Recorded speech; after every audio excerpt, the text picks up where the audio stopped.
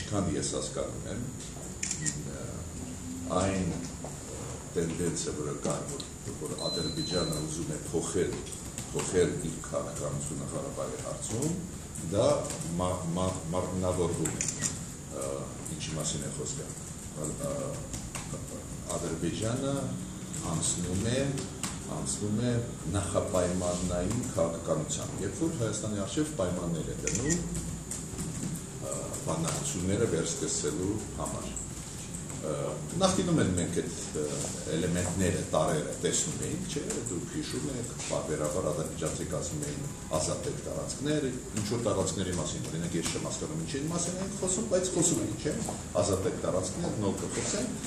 բայց այնուամենայնիվ ինչ որ process հանդիպումների, նախագահների, արտգործ նախարարների, ինչ որ process կիսա բանակցային գնում է։ Այս վերջի երկու տարվա մեջ, ինչքան հասկանում եմ, իրանք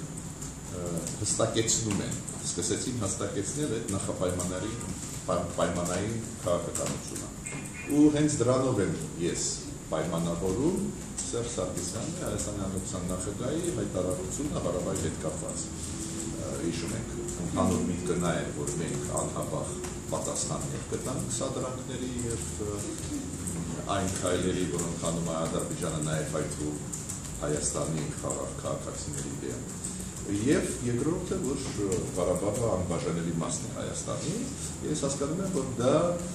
ոչ թե Հայաստանի քաղաքական փոփոխություն է, դա շատ կարևոր է ասել միջազգային հանրությանը, դա կապված չի դրա հետ ոչ թե Հայաստանը կոշտացնում իր դիրքորոշումը։ Դա ուղղակի արձագանք է, շատ տրամաբանական արձագանք է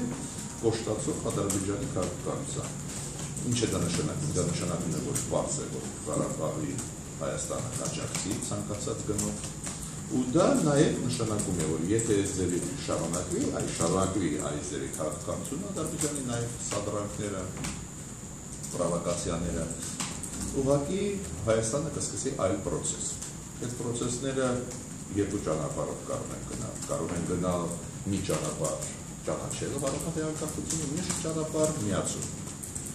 որը կլինի դա շատ այլ հանգամանքներից է կապված, բայց ուզում ասել, որ եթե Ադրբեջանը շարունակի այս ձևի քաղաքականություն չուզենա վերադառնալ բանակցային սեղանի շուրջ, բանակցությունները չուզենա վերականգնել առանց նախապայմանների այդ քաղաքականությունը,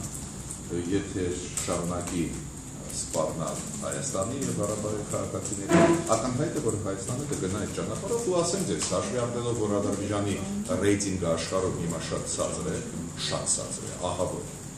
միջազգային ատյաններում իահական կլինի Եվրոմիությունը, Եվրոխորհուրդը դուք տեսնում եք, միայն քննադատությունները իրանք լսում իրանք